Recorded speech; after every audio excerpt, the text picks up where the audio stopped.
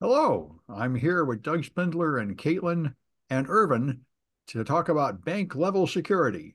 But first, Kaitlyn has done. I do, but before I talk about that, um, you'll see I have oh, other other finger. There we go.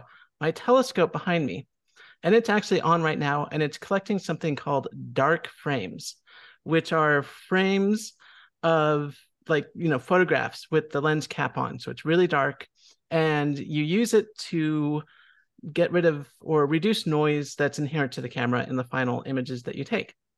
Now, what's really interesting about these uh, dark frames is that it will pick up cosmic rays as it hits the CCD sensor, which is a lot of fun. Uh, so, and I have an example here. I thought your readers might want to want to see this. Um, so here's some previous darks that I took. I'll share desktop. Here we go. Uh, so this is what a dark frame looks like on at least on my camera. On the right here, there's a um, this glowing thing, and oops, there's a glowing thing here. That is actually from the camera's internal circuitry. Uh, it releases a little bit of infrared light because it is uh, warm and it comes off as uh, like a glow in these like five minute exposures. Uh, but a lot of these dots, like this dot right here, um, and this streak over here, in particular, you can see it just run down the CCD. That is from a cosmic ray strike. Um, and so you know, we talk a, a bit in security about cosmic rays interfering with electronics, uh, causing bit flips and stuff, but this is how it happens. And this is, you know, sort of everyday proof that our electronics are being hit by cosmic rays and they do induce voltages uh, as a result. So just wanted to share that really quickly. Kaitlyn, yep. can I share a story with you? Oh, absolutely. Please do. So, you know, this is something that IBM recognized many, many years ago. And I, I'm curious if anyone knows about this, but a cosmic ray caused a bit flip in an election.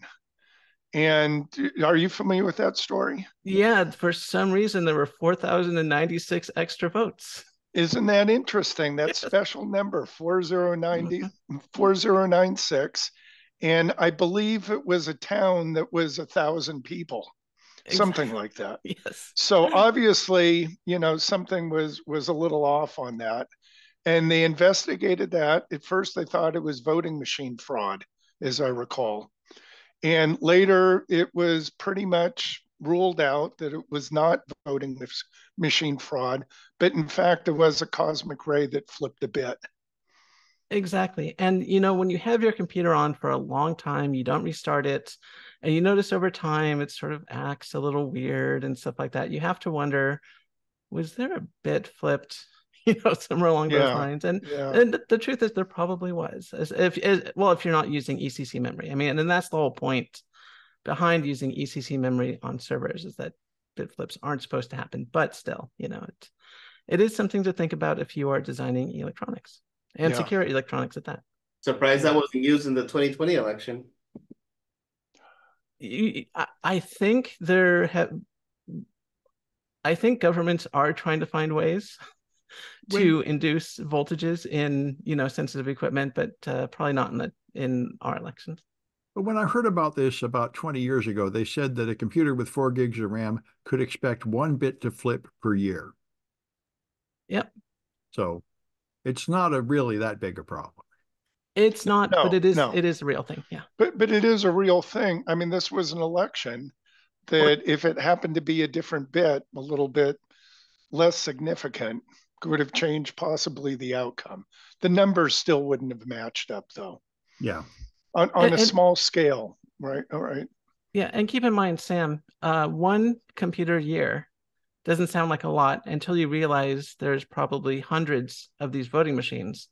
Therefore, you know, probably the probability is that over a course of a day, one of those machines will have a bit flipped in memory somewhere. Yeah, but I bet uh, the chance of like a hard drive reading a bit wrong, or even for that matter, RAM just reading a bit wrong in a normal course of events is is larger. I think you just need error correction. But anyway, right. Yeah. Anyway, right. the, the point is, it is a real thing that's happening yeah. all around us, even if we can't. can't yeah. Anyway. yeah so so after let's let's there, there's a lot of, of of bullshit in the um aerospace industry and in the computer industry in general uh but not so but not as much as there is in Japan, it turns out. So uh, there's an article here uh, from CNA, um, the channel channelnewsasia.com. This is an article written by, do we have a name? I really want to give this person credit. Uh, it's just, I guess, by the Associated Press. Okay. Uh, so uh, what ha- what's happening is uh, some Japanese rockets are getting fuel from cow poop, from dung, essentially. and uh, so apparently what's happening is that they're extracting methane. They're calling this biomethane, although I don't know the difference between biomethane and regular methane, since methane is technically a organic molecule to begin with. But regardless, they're getting methane for them for the rocket directly from you know cow manure from from cow poop bullshit essentially and they are turning that into rocket fuel which i assume is just part of uh methalox like engine type thing where you have liquid methane liquid oxygen and you burn it and it's very polluting. That's the thing. Like a lot of rockets uh, especially if you look at um, like the saturn v a lot of nasa rockets they use hydrogen and oxygen which looks like it's polluting a lot because you see these giant plumes coming out but that's just water vapor. Hydrogen and oxygen produces water right? So uh, but methane is is not so good for the environment. So i don't know how this is supposed to be more environmentally protective use cow manure i don't know but anyway that's what's going on they're they're making rocket fuel from from poop so it, it's sustainability it's organic yes it is it's organic yes. all right uh, well I found an article. I think this is Reuters. Let me check. Uh, yeah, Reuters. There's a new law, rule which is expected to do something about robocalls.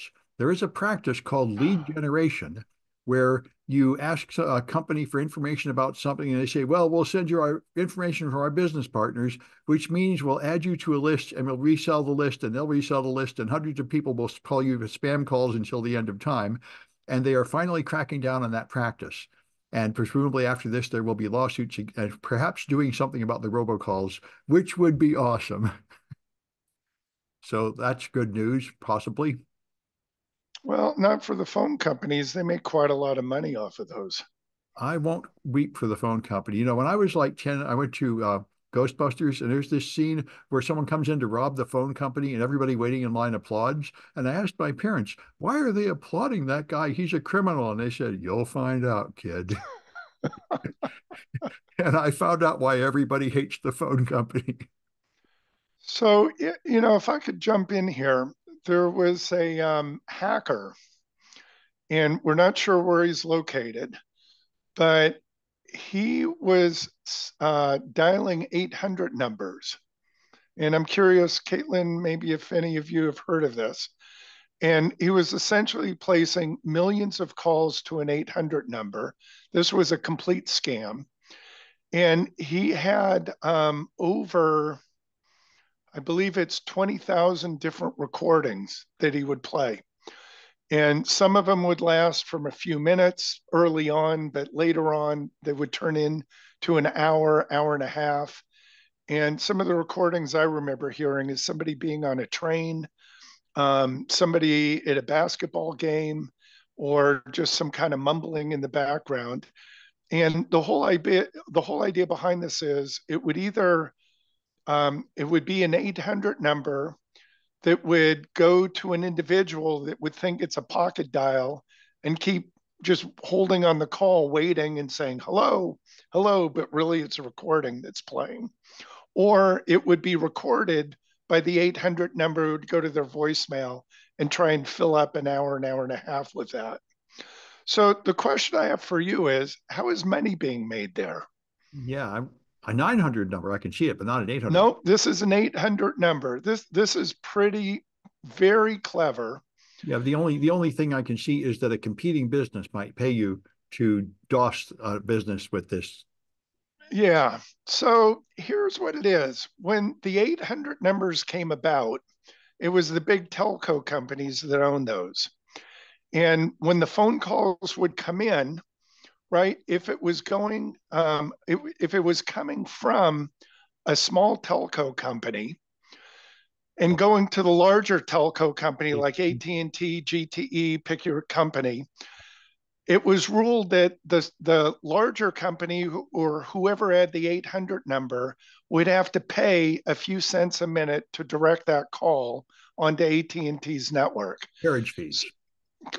Correct. Yes, exactly.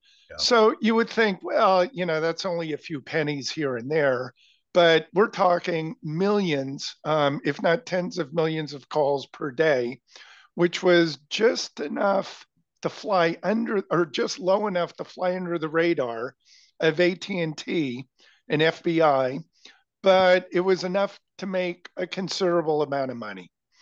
And I don't know if he was ever caught but I do know that there was a telephone conference that was taking place, and there was an investigator running around asking if somebody had ever heard of this type of attack before.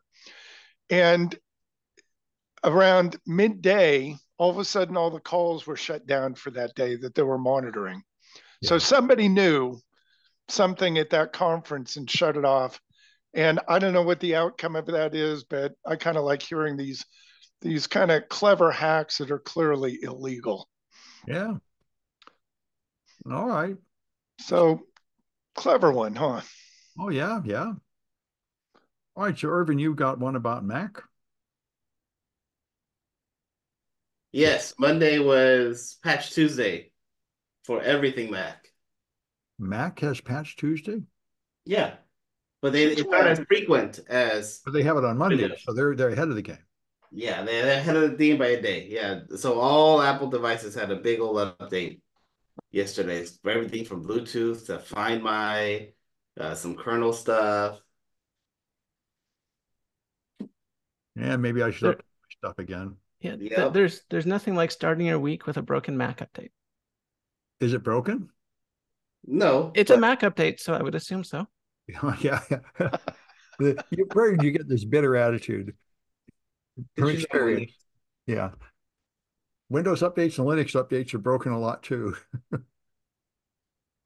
All right. So, you know, Er- Irvin, do you have some more? Well, no, go ahead, Doug. Yeah, I was going to say, since we're on the topic of updates and uh, different operating systems, Microsoft just recently announced that Windows 10 will be extended for another three years. Oh, good. And in the past, they would have vendors pay a substantial premium for the support. But this time it's a little bit different because they're offering support to consumers. So there's a pay service, Oh, paid service that you can continue to get updates for next three years. and And any idea what the cost is? that's what I want to know. How much? Yeah, that's what everybody else wants to know because Microsoft has declined to state at this time. So we'll we'll see on Well- that. So that's why Microsoft requires a TPM for Windows 11. Makes whole it makes sense now. Yeah, and and you know, how much would you pay for Windows 10? Boy, I wouldn't pay much. Well, it's it's available and it's been hinted, and I think it's pretty clear, just based on the rumor mills, that Windows 12 will be out next year. I saw another rumor that said it won't, that there's a snag. So you might have better rumors than I do, though. Well, we have to talk rumors because that's all that's what that's what Yeah. this industry is all about, right? Windows 12 is supposed to be out. First, they said it'd be out in June. It would be all full of AI. And then they said maybe they decided not to do that at all. I don't know. So it was Acer who leaked that it was going to be out in July, but typically Microsoft releases around October for the holiday, you know, season going on out there. And they could be like Vista and announce the hardware specs and then not get it out in time for Christmas just to ruin everything. Exactly, exactly.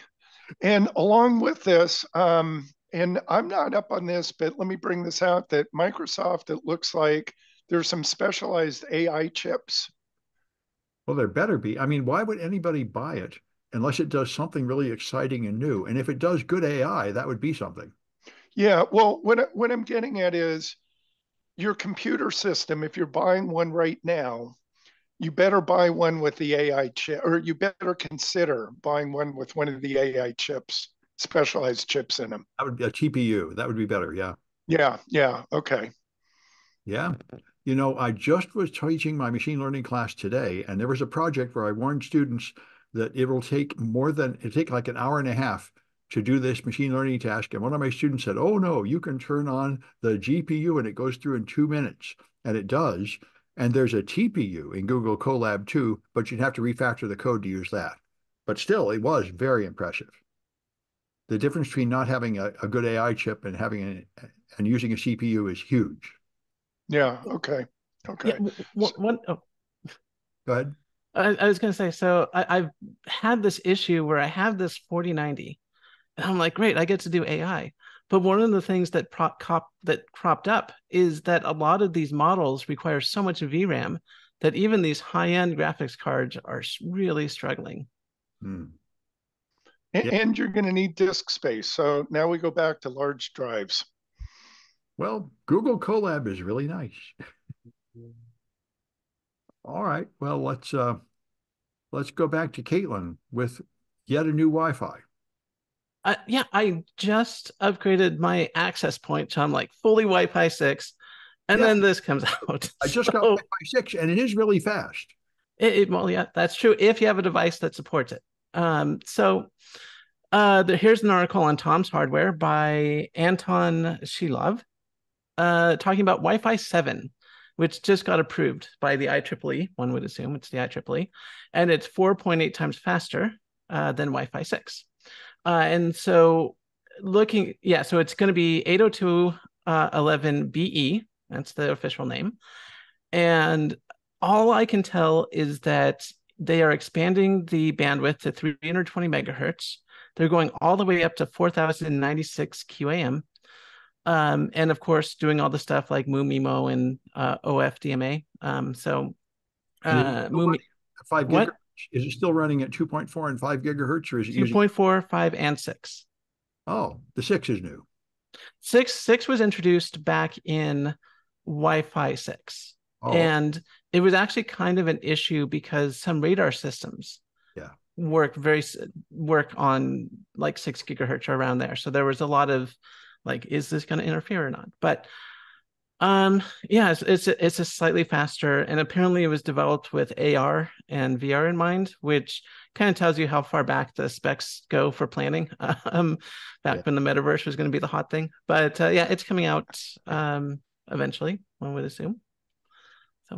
You know, when we went to CPTC at Stanford a few weeks ago, we were doing our pen testing contest, and the building was full of like more than 100 Stanford students spending all day at a meeting. When I asked them what they were doing, they were doing VR. And I I felt sorry for them. I, I still think there's a future for VR. The problem is that VR is one of those technologies you have to get perfectly right. There is no like kind of VR, like you know how computers sort of built up from the ground and got progressively better. You sort of have to start at a reasonably priced, like almost perfect headset, and then everyone will be in on VR. Because right now, having these big boxes that give you headaches, that are a pain to use, I mean, it's just not going to take off. I think Apple brought one out a few months ago, and people said it was a lot better, but then it just vanished. It's never to be heard of again. It's also like three thousand five hundred dollars. Yeah, that might. It- Yeah, if App, if Apple could price it to three hundred dollars, we would all be doing this meeting in VR right now. Speak for yourself. But anyway, I I don't want to do it in VR. hmm. I, it And- was still and- on top of my glasses, you know. I I'm highly skeptical. Along the same lines, where are we with augmented reality? That would be better, but I think we're also nowhere for the same reason because there's no device you can stick on your face that's comfortable and effective enough and cheap enough. Yeah. Okay. Yeah. Um, I, all the newer headsets are focused on AR as well. So when I say VR, I'm also implying AR as well. So, like the Apple one has really good cameras, but like I said, it's one of those things that needs to be perfect. It's like that unca- uncanny valley Yeah. where you know if it's just slightly off from reality, it's just sort of like not good. So But Yeah, whoever does it will make a pile of money. And I would have thought Apple could do it. Maybe they still will. A- Apple Apple's doing it. Their headset is fantastic. It's just three thousand five hundred dollars, and no one's gonna spend that much. And Well, Well, they do on that, the computers. Apple fanboys will spend a Yep. lot of money. They, if they got it down to like 1,000, the Apple fanboys would probably snap it up. Yeah, like I said, just get get the price down, Yeah. and it'll it'll take off. Yeah. All right. And so uh, I was amazed by this. Uh, Coinbase. So a doctor put his money on Coinbase and he turned on two factor authentication, and Coinbase advertises that they have bank level security. So then somebody called up, got found out he got in his account, defeated the two factor, got them to turn it off, and stole all his money. And he and he complained, and Coinbase said, "Oh, in our terms of service, we say that if our security fails and someone gets in your account on our server and steals your money, we're not liable. So we're not giving you anything." And I don't think you can do that. I don't think putting that in your terms of service means that when it's clearly your fault that you aren't responsible. So we'll see what happens with that in court. But that sounds really bogus to me. So, Okay. any, any idea how much money we're talking? Three hundred and forty-eight thousand dollars.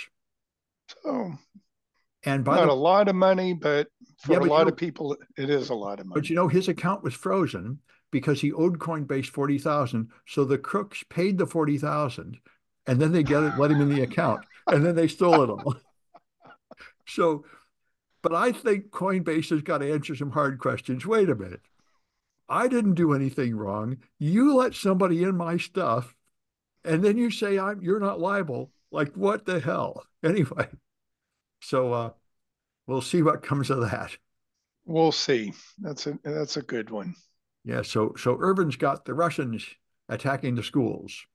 Supposedly, some Russian hackers have been hitting multiple Ohio schools, saying that there's bomb threats. But how is that even hacking? Are they just calling him on the phone or what? Yeah, just calling on the phone, making a bomb threat, scaring people. And but it doesn't say is how they're leaking it to Russia. Yes. Now that you Yeah. mention it, They're just saying it's Russian, but I saw the same article and I noticed the same defect. They said the same method was used to fake bomb sets in several schools, so it's the same people, but uh, how they may blame the Russians is not obvious. yeah. And and how I assume this is just people angry about Ukraine just finding some random way to express contempt for America. It doesn't seem like much of a serious attack. Or it's just a bunch of kids who are bored and trying to find something funny to do. Yeah, yeah. You know, why don't they just spread cryptocurrency like real script kitties instead of, I mean, I mean, uh, crypto lockers, you know, what's this nonsense? I know. Kids Yeah. these days, Kids these days need better education. they do, they do. All right. And, and you've got another one, right, Doug? Yeah, I do. This one uh, was on Marketplace Tech today, and they're talking about premium internet domain names. So we all know .com, .edu, .gov. Those have been around, but the premium ones are like TV, which is for the island of Tuvalu, Yeah. which is in, for those of you who don't know, I had to look this up, but it's one of the South Pacific islands um, around Samoa, Tonga, Fuji, Fiji, my mistake, Fiji, um, northeast of Australia. And interestingly, about 10 years ago, they signed an agreement with, um, oh, who's the domain? Uh, I- it was one of the first ones. Um, Oh, daddy. G- no, no, GoDaddy is who they're with now. Ver, Verizon, Ver, VeriSign. VeriSign, thank you. Yeah, they made about a million, two million dollars. And this last year, they made $10 million. So pretty impressive. Yeah. And they're using those for uh, paving roads for improvements. They're expanding their electrical grid. But the ironic part of this is while they're doing all this, it's also threatened by sea level rise Yep. because of climate change. But the TV, as you know, is used by Twitch and a lot of other companies. Uh, Anguilla, which is in the British Colum- uh, Caribbean islands, is making three dollars or three million per month, per month, three million. And uh, according to the article, it's uh, about a third of the island's GDP that's coming in. So that's pretty substantial. Then there's another one. It's called the Chagos Islands, which is off the southern coast of India. And they're .io. So another one, another vanity one, if you will, or premium. So the UK and the US moved all the inhabitants off, or the vast majority of them, and they turn it into a UK joint UK US military base, which is kind of interesting. Now, the profits for IO are going to a company that's called Internet Computer Bureau.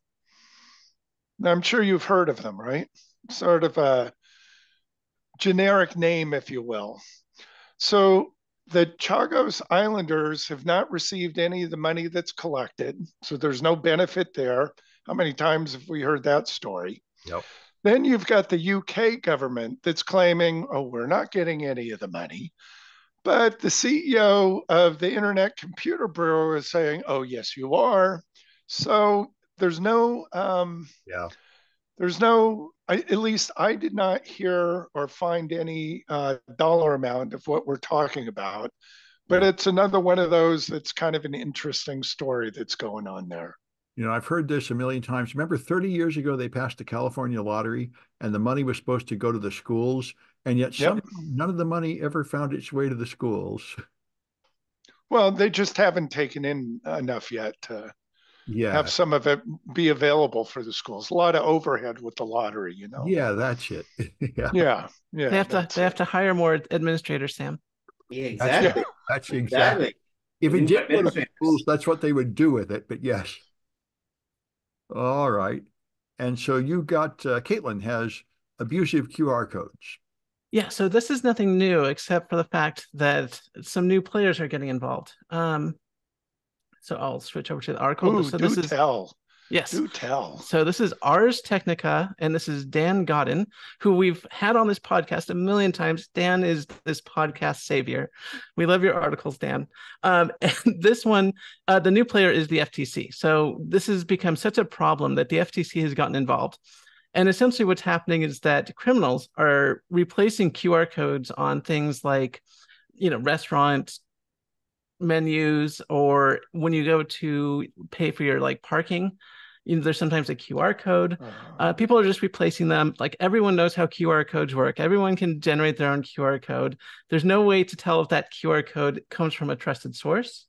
And so, of course, yeah, criminals are just going to town on it, and and it totally makes sense. Um, like I, I was going in th- going through it in my head, and I was like, how hard would it be to replace a QR code on, say, like a parking garage, and have it go to your site instead? and then just charge like an extra two or three dollars and then pay for that person's ticket and then you know take home the three dollars how long would it take for someone to even notice that's happening like Well, you remember there was the guy that was the parking lot attendant and worked a whole career and retired, and then they found out there never had been an attendant at that parking garage. He just Yep. Acted smooth and collected a tip every day for like 20 years, and nobody figured it out.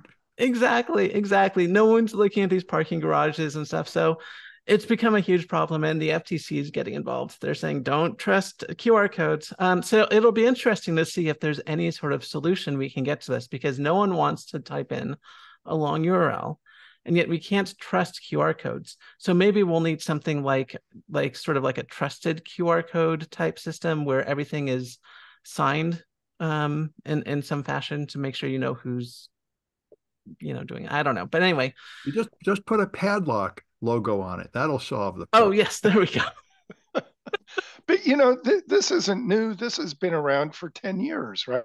yeah this is this has been around for a while um absolutely nothing new like i said it's just a new player Yeah. the the ftc Yeah. Because um, because it would be easy to come up with a sticker, right? Just print it out and you go on BART, which is our local metro system. And sometimes you see a QR code and there's a sticker over the top of it Yeah. because they've updated the terms of service, if you will. yeah. right Um, so, you know, I would argue that people are comfortable seeing a sticker over a QR code that's a QR code. But you're Yeah. right. We need the padlock. Yeah. You know, I Yeah. think I think they're using it to protest the Ukraine war in Russia. I think I heard some woman is getting thrown in prison for this. She would go to the grocery store and put up QR codes, and when you scan them, it says, you know, stop the war or something. Hmm. No profit motive there. No, quite the opposite. But yeah, quite the opposite, right? Well, anyway, I got a couple here. So, so uh, this was pretty good. You know, everybody's fleeing Twitter. Like I left a long time ago. A lot of people left, and now the advertisers are all boycotting it. But the people who are not boycotting it are the Democratic office holders, like Alex, like Joe Biden and Alexander Ocasio Cortez, and all the rest. Of the Democrats are spending tons of money advertising on Twitter. And I think what's going on is they just haven't kept up with the times. I mean, they used Twitter, which was an effective way to reach their people a year or two ago, but they're still splurging on the political ads. They haven't started cutting off their ads yet. So that's pretty ridiculous. And uh, the other one that's hmm. hitting a lot all over the place is the Texas top court. You know, Texas has abortion ban, but the exception for the life of the mother. And as all the um, uh, women's rights advocates have been saying, there is no such thing as exception for the life of the mother. And that's been proven again. There's a woman who needs an abortion, the fetus won't live, and her life is threatened. And the court said, oh, no, uh, the doctor said it's his professional judgment that you're at risk, but he has to use different words to state that the words with which he expressed it do not sufficiently match the statute, so you can't get an abortion. And that's what they all say. I mean, if you have some exception for the life of the mother, all that means is the doctor can't give it to you until he goes to the board of directors who have to ask a lawyer, and nobody dares make the decision. So you might as well just admit you've 100% banned abortion and there are no exceptions because that's what it really is in practice. Anyway, so. Yeah. So is that the woman? Did, did she travel? She did. Uh, after, yeah. after this, she fled. She fled the state to get her abortion. But and, she, and yeah, and now there's talk about going after her and the people that assisted her. Oh yes, that's for yes. So I, I, you know, how far do we take this? If she took a Southwest flight, let's say, so does that mean the pilot, the airline, everybody that served her drinks? Uh, moved her baggage. In principle, it could mean all that, and it's a five thousand yeah. payday to the individuals that choose to sue. I'm amazed these lawsuits haven't come in yet because that law has been around for a year and it's just yeah, right. money for people. Um, so we'll see if people finally start doing those lawsuits. It's uh, yeah, it'll be interesting. Yes, it will be, and sort of horrifying as the Republican states descend into the handmaid's tale, but that's where we're heading. Anyway, and so Irvin has got uh, a couple more. One about about Toyota and Walgreens. Yes, so uh, Toyota was hit with a breach a while ago. Again? Uh, again. and information is getting leaked out yet again. They demand the threat actors demanded eight million with 10 days to respond. And go figure they uh Toyota did not. And so that information is out and about. Great. So Probably mine. A, I'm sorry? I've got a Toyota, and so does about two thirds of my neighbors when I walk around the parking lot. So I guess we're probably all in there. Uh, I think you're there if you have a loan with them. Oh, well, I don't have that. That's yeah. one good thing about my advanced vehicle. I did not need to get a loan to get it. this is true. Your your vehicle passes all detections. It it it it has a whole lot of special advanced features. Yeah. Yes. Uh, the the Walgreens one is the one that came out today at noon our time that all these pharmacies do not need a warrant to give up your medical info. To just anybody? the cops can just show up to CVS ah. and ask for information about you and they'll get it. So they're patriotic. They support law enforcement. Exactly. They, and, and, and very patriotic. And you see something wrong about this. I see nothing wrong with it. It's perfectly fine. Well, the that... cops should have access to all our records without adjusting HIPAA or anything like that. Yes. So, Irvin, is this California or is this nationwide? Uh, this is nationwide. So we can go back to Texas here, or we can see who's getting what type of medicine. That's right.